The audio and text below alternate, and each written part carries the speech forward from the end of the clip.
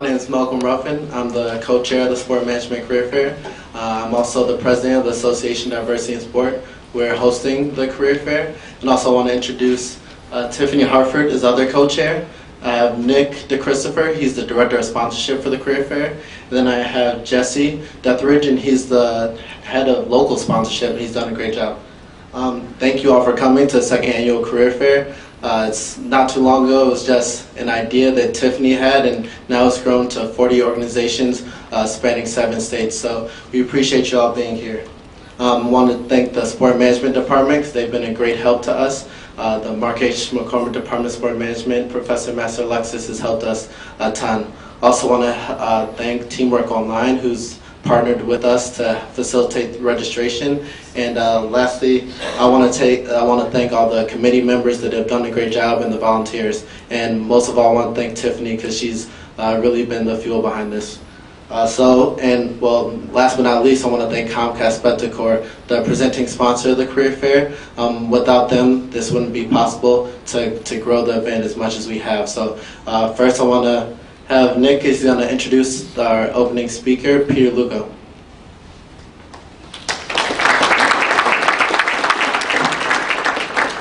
Good evening, everyone. At this moment, I'd like to introduce the president of Comcast Spectacor. He's also the chairman of Global Spectrum and an 81 alum from the sport management program here, Peter Luukko.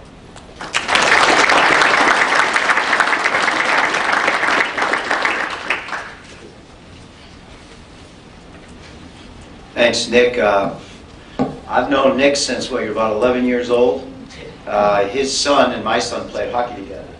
Um, for many years, Team Comcast, they went to nationals. They were, they were a very good team. And uh, my son uh, was recruited to play hockey, and um, his final two choices came down to obviously UMass and Vermont. And uh, unfortunately, he chose Vermont. So I'm going to have to spend uh, the next day or so avoiding Tootie Cahoon. I don't think he's real happy happy with me, but uh, it's going to be really tough. I just saw a great Frozen Four uh, T-shirt up here in the, in the team's not uh, what is it Frozen Fenway T-shirt, and I wanted to buy it so bad because it's got UMass on it, and I went here and I love UMass, but I got to be kind of neutral that day, and uh, it's tough because it's so nice to see what what has happened here. We manage the Mullins Center.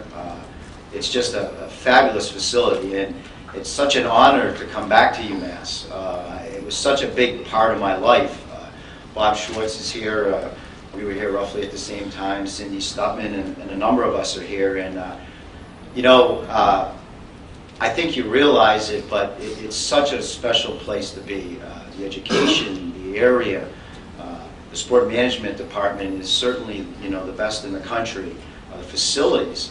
when I was here, uh, games were played at the Cage, which had its character was pretty special, but the Mullins Center is nice, and I see the new Student Center. Um, I'm also really happy to see that the pub is still here.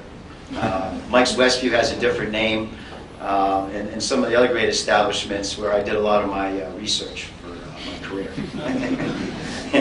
In fact, Bob and I were really amazed that they actually, some of the shit we pulled, that were actually, they allowed us back on campus today. so, to tell you a little bit about myself, um, uh, I'm from Worcester, Mass. Uh, grew up in Worcester, moved to Auburn when I was about 12 years old. Um, came to UMass in, in 1977 uh, in the sport management program. And the program was relatively new then, but, but very, very exciting. And, you know, as a kid, I had played hockey and, and soccer, and certainly, you know, number four was my number, you know, as Bobby Orr. Uh, and, and I kind of knew, though, that I wasn't going to be a professional hockey player. And my dad, who was a mechanic, somehow found a way to meet somebody at uh, Boston, the Boston Bruins. So I went down and, you know, I had my best fake leather jacket on, and my, you know, then you wear those silk shirts, so I was pretty cool looking. At least I thought.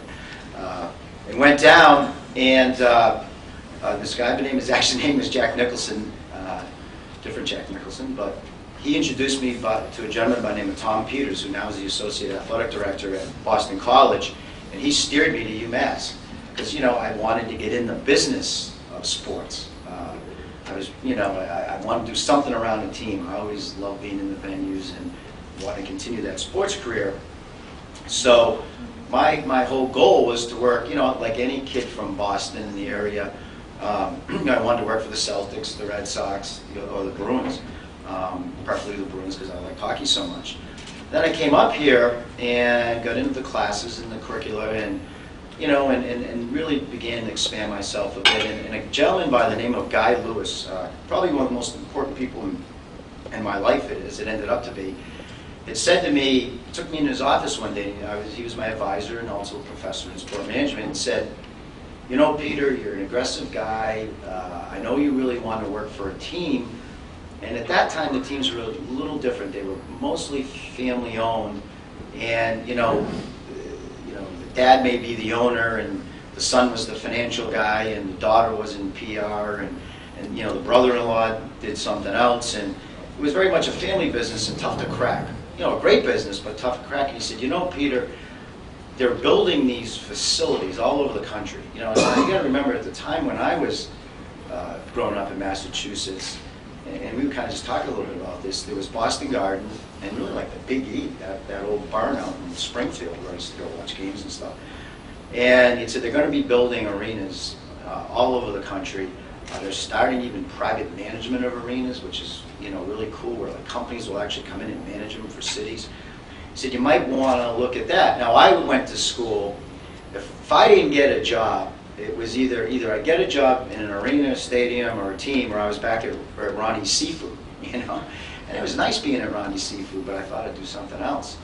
And so I got, I took an internship at the New Haven Coliseum, and uh, and, and Guy Lewis had said, you may want to go there because there's a young general manager there, and I think he's going to start new departments. You know, one of them is going to be like marketing, group sales, and all that.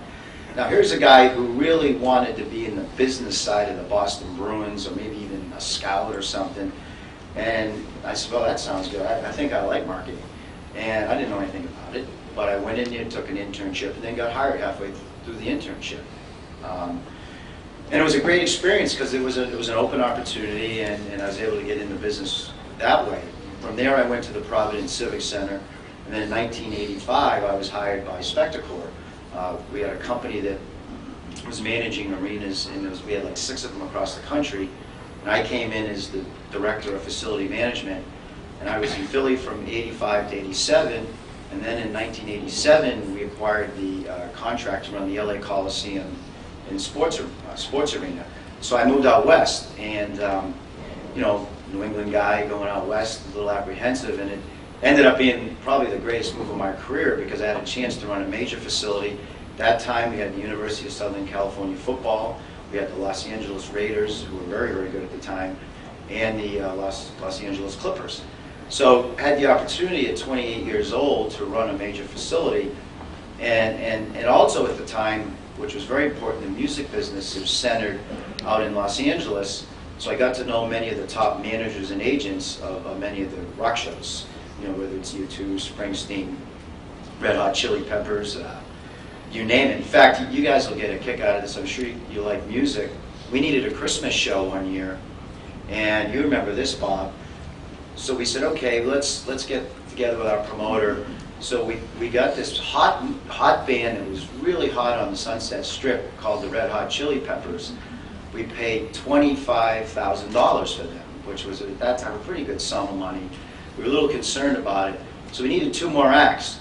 So we played $1,500 for this act. It was pretty good out of a kind of grungy out of Washington called Nirvana. And then the opening act is we you figure out let's do three bands. You know, for, for the twenty-five dollars they'll get their money's worth. Now we've got Red Hot Chili Peppers, we've got Nirvana. So we got this pretty cool band that we, was kind of making a little scene. For $500, we got Pearl Jam. and that was our Christmas show. I, and, and, you know, I had a chance, when we, we toured down the Spectrum, I had a chance to meet Eddie Vedder. And, um, and I had said, you know, hey, Eddie, you did our, you did our Christmas show in L.A., and I still, I still wish I had that contract with your signature on it, you know, from those times. And he goes, so you're the bastard who paid me 500 bucks. and he remembered. And he was really nice. and He was nice to me. And, and, re- and remembered how fondly that that was the first big gig that they'd ever played. But if you remember, Bob, you know, you guys have been to concerts, and if there's three bands in an arena, usually the first band, the poor band you feel sorry for because they basically played to an empty arena. You knew these guys were something special when they overran the chairs for the first act that we paid $500 for Pearl Jam. So obviously, that, yeah, Eddie Vedder was a special guy at the time. Uh, to get on quickly with my, my career, um, and then in 1993, I was asked to come back and run the Philadelphia Spectrum and began to uh, work with the Philadelphia Flyers on the business side.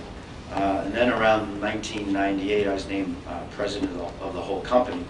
Um, and, and I think, and, and I'm going to talk about this a little later, but if, if you can remember my, career, because if you, I was the guy who wanted to either be a scout or the Boston Bruins, and I kind of took a funny path, but now the Philadelphia Flyers report to me, so I think it's a lesson to be learned, and and I'm going to talk about that a little later.